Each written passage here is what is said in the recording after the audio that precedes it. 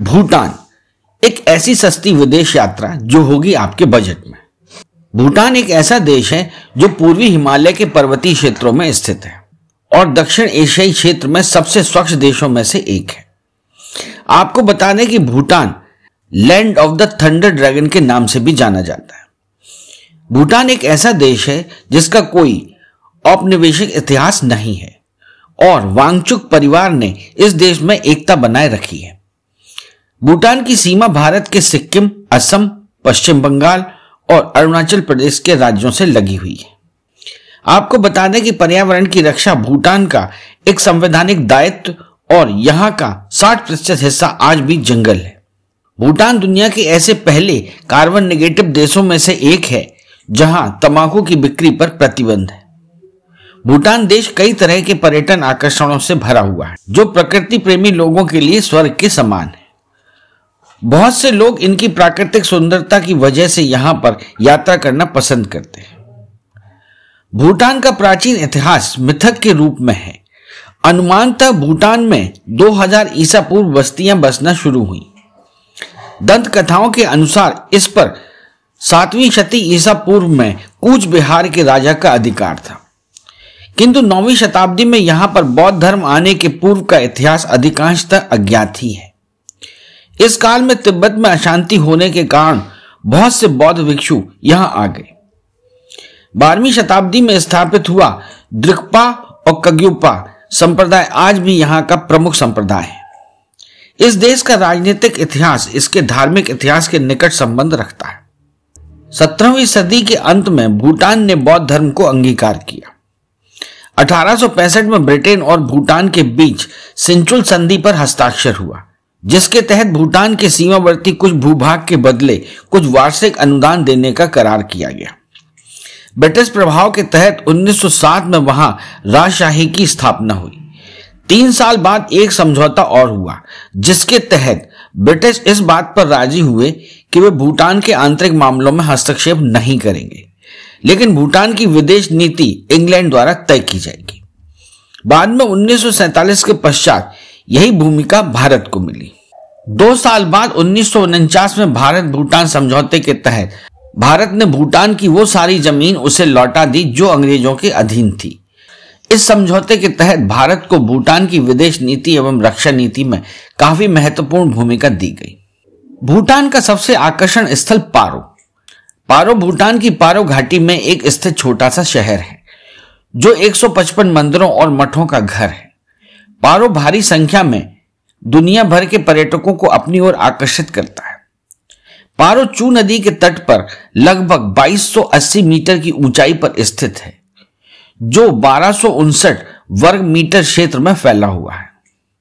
आपको बता दें कि पारो में भूटान का एकमात्र अंतर्राष्ट्रीय हवाई अड्डा भी है और इसे धरती पर उतरने के लिए सबसे चुनौतीपूर्ण हवाई अड्डा माना जाता है। पारो कई सारे आकर्षणों से भरा हुआ है। यहाँ की यात्रा करने के लिए हर किसी को ज़रूर जाना चाहिए। भूटान के प्रतिष्ठित मठों में से एक टाइगर का घोंसला मठ है, जो पारो शहर में एक चट्टान पर स्थित है। इसके अलावा पारो में ऐसी कई जगह जो पर्यटकों द्वारा सबसे ज़्यादा देखी जाती है, जिनमें मठों से लेकर कई म्यूज़ियम के नाम शामिल हैं। पारो की घूमने लायक जगह में से रिंगपोंग, डंगजोंग, भूटान नेशनल म्यूज़ियम और पारो वीकेंड मार्केट के नाम शामिल हैं। पारो पर्यटन में घूमने लायक जगह, चेले ला पास, भूटान का राष्ट्रीय संग्रहालय, tiger nest monastery Rinpung Dzong, Kila Gompa, जंगल सरू लखांग। भूटान का प्रसिद्ध पर्यटन स्थल थिम्फू थिम्फू को भूटान के केंद्र के रूप में जाना जाता है, जो देश के मध्य पश्चिमी भाग में स्थित है।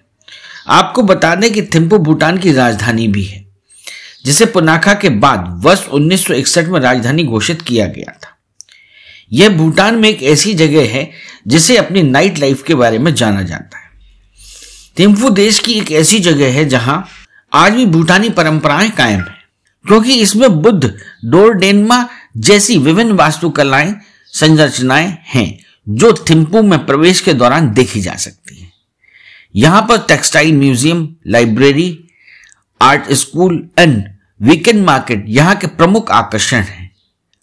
थिम्पू पारो इंटरनेशनल से एक घंटे की ड्राइव पर स्थित है, जो परंपरा और आधुनिकता दोनों का मिश्रण है।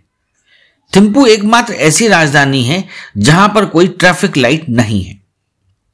थिम्पू में देखने लायक जगह त्रशीछोड़ डजोंग, चंगंखा लखांग टेंगो गोम्बा मोतीथांग मोतीथांग टेकन प्रिजर्व डेचन फोड्रंग भूटान का राष्ट्रीय पुस्तकालय simply Bhutan national institute of Zorig Chusum Wangdue Phodrang Wangdue Phodrang Bhutan के सबसे बड़े जिलों में से एक है, जो मठों और मंदिरों से लेकर वन्यजीव और देहाती गाँवों से भरा हुआ है।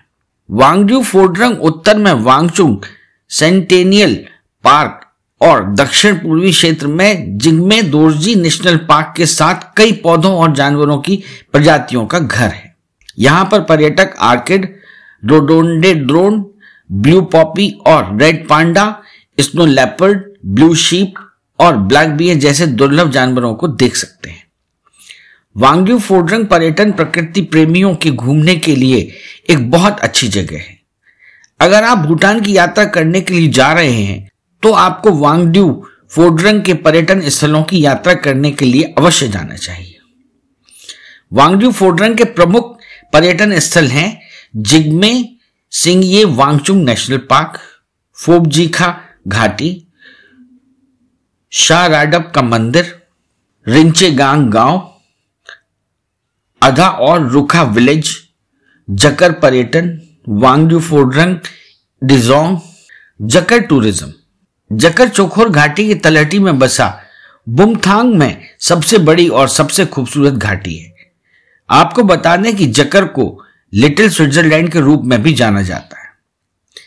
जकर बुत्थांग ज़िले का प्रमुख प्रशासनिक शहर है। यह जगह मठों और डिजोंग्स के साथ बिंदीदार वृक्ष पर्वत श्रृंखलाओं से घिरी हुई है, जिसकी वजह से यह इतिहास प्रेमियों और प्रकृति प्रेमियों दोनों के लिए एक आदर्श जगह है। जकर कई ऐतिहासिक और पवित्र स्थलों से भरा हुआ है। इसे भूटान में बौद्ध धर्म की उत्पत्ति का बिंदु माना जाता है। अगर आप भूटान में किसी प्राकृतिक जगह की यात्रा करना चाहते हैं तो आपको जकर की यात्रा ज़रूर करना चाहिए। पर्यटन स्थलों की यात्रा करने के लिए यहाँ पर यात्री अन्य गतिविधियाँ जैसे ट्रैकिंग, माउंटेन बाइकिंग का भी मज़ा ले सकते हैं। जकर के पर्यटन स्थल, जकर डिजोंग चक्र लखंग, मेबर तसो, खर्चू गोम्बा द्रांगचेल गाँव, तांग घाटी, कोचोंग सम, लखंग आदि। फुट शोलिंग भूटान का सबसे बड़ा शहर जो भारत के राज्य पश्चिम बंगाल से अपनी सीमा को साझा करता है। यह कोलकाता और सिलीगुड़ी के यात्रियों के लिए एक प्रवेश बिंदु के रूप में सेवा करता है। और भूटान का एक महत्वपूर्ण आर्थिक केंद्र है। फुटसोंग भूटान के अधिकांश शहरों की तुलना में अधिक विकसित है और इसके बाद भी यह कई प्राकृतिक आकर्षणों से भरा हुआ है। अपनी फुटसोलिंग यात्रा के दौरान पर्यटक जंगटो पेलरी लखंग, करबंदी मठ भूटान गेट और खरबंडी गोम्बा की यात्रा कर सकते हैं। जंगटो पेलरी लखांग एक छोटा सा मंदिर है, जो गुरु रिन पोचे को समर्पित है। यहाँ स्थित भूटान गेट भारत से प्रवेश के लिए प्रमुख प्रवेश द्वार है, जो पारंपरिक भूटानी वास्तुकला का एक उत्कृष्ट उदाहरण है। फुट शोलिंग के पर्यटन स्थल। Bhutan gate Zangto Pelri Lhakhang, Amochhu crocodile breeding centre, Karbandi मठ, तरसो नदी। पुनाका भूटान के 20 जिलों में से एक है, जो समुद्र तल से 1200 मीटर की ऊंचाई पर स्थित है और हिमालय का एक अद्भुत दृश्य प्रस्तुत करता है। पुनाका 1955 तक भूटान की पूर्व राजधानी थी, जिसे बाद में थिम्पू को बना दिया था। आपको बता दें कि यह जगह माउंटेन बाइकिंग और ट्रैकिंग के लिए एक उत्कृष्ट स्थान है। इसके अलावा यहाँ भूटान का सबसे लोकप्रिय साहसिक खेल रिवर राफ्टिंग पोचू नदी में किया जाता है। अगर आप भूटान की यात्रा करने जा रहे हैं तो आपको पुनाखा की यात्रा के लिए भी अवश्य जाना चाहिए। पुनाखा पर्यटन में घूमने लायक जगह पुनाखा डिजोंग मोछू नदी, पुनाका सस्पेंशन ब्रिज पुनाखा गाँव, जिगमे दोरजी नेशनल पार्क, दोचूला दर्रा खानसम यूली नामग्याल चोटन सांचे दोरजी लुहड्रुप नन्नेरी। बुमथांग। बुमथांग चार खूबसूरत पहाड़ियों का घर है। यहाँ पर कई प्राचीन मठ और मंदिर स्थित हैं। बुमथांग भूटान में यात्रा करने के लिए सबसे अच्छी जगहों में से एक है, जो अपने धर्म, आध्यात्मिकता और इतिहास के लिए जाना जाता है। कुर्जी और तमसिंग लखंग यहाँ के प्रमुख दर्शनीय स्थल हैं और इसके अलावा पर्यटक पहाड़ी पर ट्रैकिंग जैसे काम भी कर सकते हैं। बुमथांग में हर साल फरवरी में भूटानी खाना बदो समारोह का आयोजन किया जाता है। बुमथांग के पर्यटन स्थल, खुर्जे लखंग मंदिर जकर दिजोंग जम्बे लखांग, तमसिंग लखांग, जलती हुई झील उरा घाटी ओजेन चोलिंग पैलेस संग्रहालय, कोचोंगसम लखन। फोबजीखा घाटी। वांगड्यू फोडरंग में काले पहाड़ों की पश्चिम ढलानों में एक कटोरे के आकार की घाटी है, जो हरे भरे खेतों के मनमोहक दृश्य प्रस्तुत करती है। आपको बता दें कि यह घाटी लुप्त प्राय काली गर्दन वाली क्रेन का घर है, जो सर्दियों के दौरान इस क्षेत्र में आती है। फोबजी का घाटी जिसे गंगटी भी कहा जाता है। यह देश की कुछ ग्लेशियल घाटियों में से एक है। जिग्मे सिंगे वांगचुंग नेशनल पार्क की सीमा से लगी यह घाटी समुद्र तल से 3000 मीटर की ऊंचाई पर स्थित है, जिसकी वजह से यहाँ काफ़ी ठंड है। फोबजी का घाटी भूटान की एक बहुत ही खूबसूरत जगह है, जहाँ पर पर्यटक ट्रैकिंग का मज़ा भी ले सकते हैं। सीधे शब्दों में कहें तो फोबजी का घाटी वर्ल्ड वॉचर्स और ट्रैकर्स के लिए एक स्वर्ग है। यहाँ पर शानदार तस्वीरें भी क्लिक कर सकते हैं। यह घाटी कई तरह से सांस्कृतिक स्थलों से भरपूर है, जिनकी यात्रा आपको अवश्य करना चाहिए।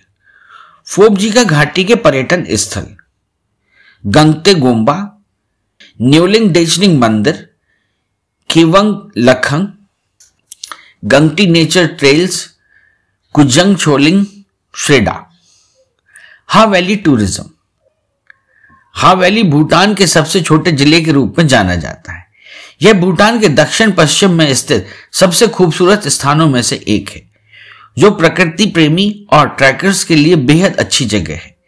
इसके अलावा यह दुनिया की एकमात्र ऐसी जगह है, जहाँ पर क्रीम रंग का ब्लू पॉपी देखा जा सकता है। यह जगह काफ़ी कम आबादी वाला क्षेत्र है और खाना बदोश चरवाहों का घर है। हा वैली पारो से 30 किलोमीटर की दूरी पर स्थित है, जहाँ चेलेला दर्रा के माध्यम से पहुँचा जा सकता है।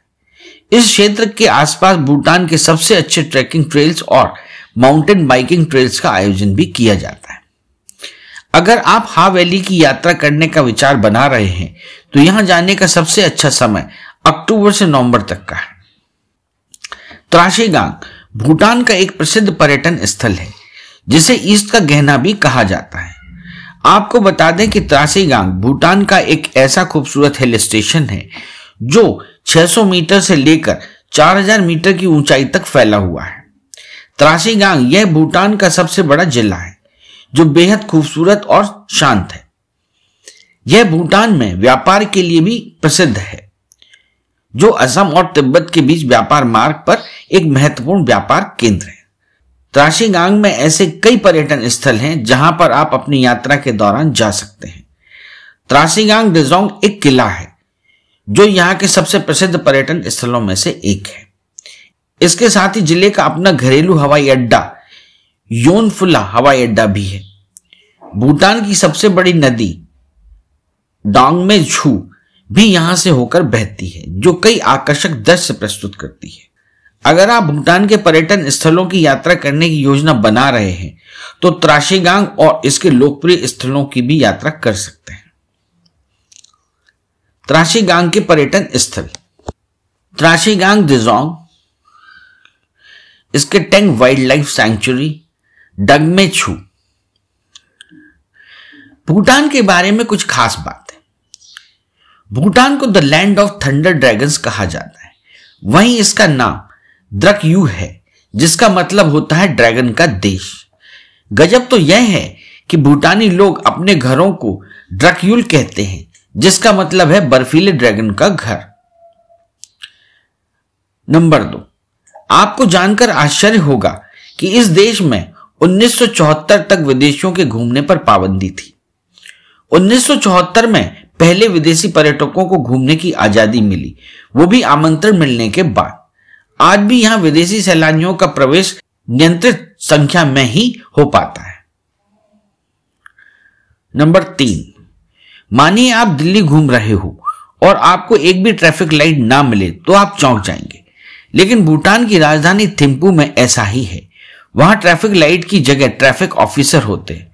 हालाँकि एक समय में यहाँ पर सड़कों पर रेड लाइट लगाई गई थी, लेकिन लोगों के विरोध के बाद इसे हटा दिया गया।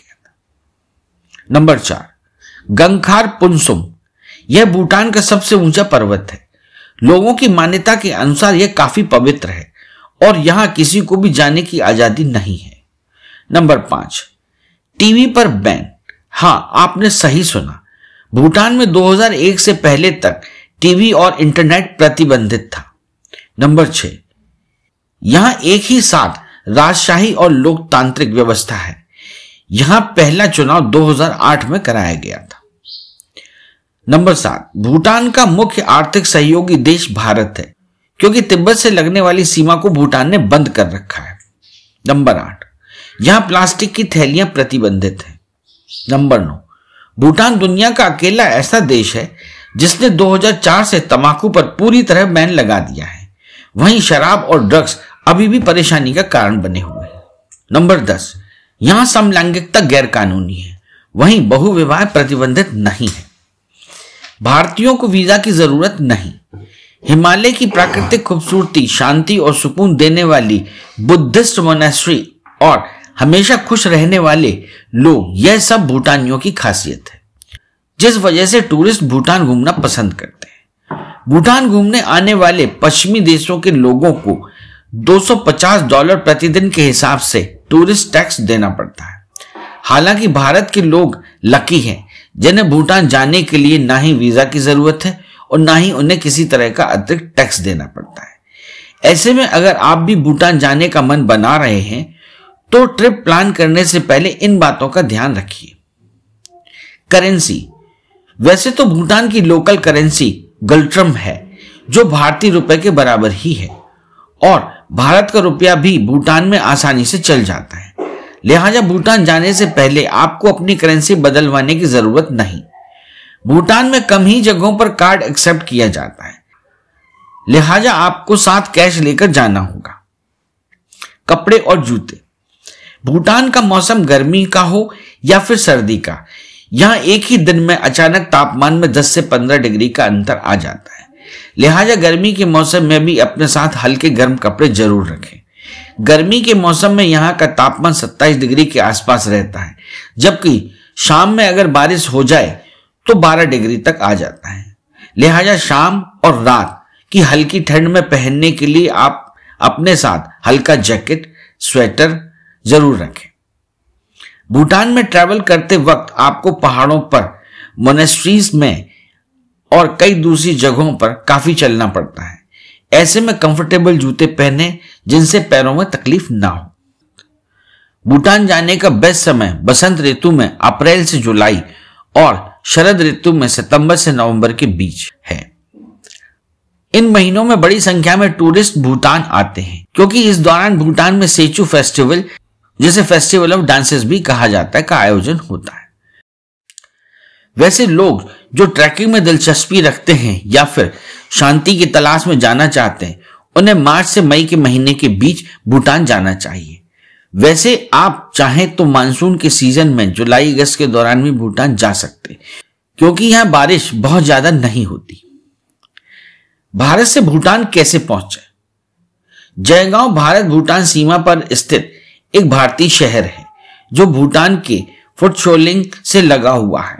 भूटान में प्रवेश करने के लिए परमिट प्राप्त करने की सभी प्रक्रियाएँ यहाँ अव्रजन कार्यालय में की जाती हैं। भूटान पहुँचने का सस्ता विकल्प। अगर आप भूटान के लिए एक सस्ती और आरामदायक यात्रा करना चाहते हैं तो बता दें कि आप भारत के किसी भी शहर से बागडोगरा के लिए फ़्लाइट ले सकते हैं। यहाँ उतरने के बाद आप जयगांव के लिए टैक्सी किराए पर ले सकते हैं, जिसके लिए आपको लगभग पैंतीस सौ रुपए किराया देना होगा। बागडोगरा से जयगांव पहुँचने में लगभग चार से पाँच घंटे लगते हैं। इसके बाद आप जयगांव से फुट शोलिंग की यात्रा कर सकते हैं। अपनी खुद की कार या मोटर बाइक से भूटान कैसे पहुँचे? अगर आप भूटान की यात्रा अपनी खुद की कार या बाइक से करना चाहते हैं तो आप एक हज़ार से बारह सौ रुपए के शुल्क का भुगतान करके फुट शोलिंग में क्षेत्रीय परिवहन कार्यालय से वाहन के परमिट प्राप्त कर सकते हैं। हवाई मार्ग से भूटान कैसे पहुँचे? पारो अंतरराष्ट्रीय हवाई अड्डा भूटान का एकमात्र हवाई अड्डा है। यह देश के दक्षिण पश्चिम में स्थित है। बैंकॉक, दिल्ली, कोलकाता, बोधगया, बागडोगरा, गुवाहाटी, काठमांडू और ढाका से जुड़ा हुआ है। व्रक एयर भूटान का एकमात्र एयरलाइन है, जो भूटान पारो से दिल्ली, बागडोगरा, कोलकाता, बैंकॉक, गया, ढाका और काठमांडू के लिए नियमित उड़ानें संचालित करता है। भारत से भूटान की यात्रा करने के इच्छुक लोगों को यह बता दें कि बागडोगरा भारत में पारो का निकटतम हवाई अड्डा है और यह भारत के पश्चिम बंगाल राज्य में स्थित है। सड़क मार्ग से भूटान कैसे जाएँ? भारतीय पर्यटक भूटान तक बस द्वारा भी पहुँच सकते हैं। भारत से भूटान के लिए कोलकाता, सिलीगुड़ी, हासीमारा से जयगांव फुटसोलिंग तक बसें उपलब्ध हैं। टिकट की कीमतें लगभग 500 से 800 के बीटीएन होती हैं, जो कि भूटान की मुद्रा है। यदि आप अपना टैलेंट बंजारा बीट्स के साथ शेयर करना चाहते हैं तो दो से तीन मिनट का वीडियो हॉरिजॉन्टल में बनाकर इन नंबरों पर भेजें।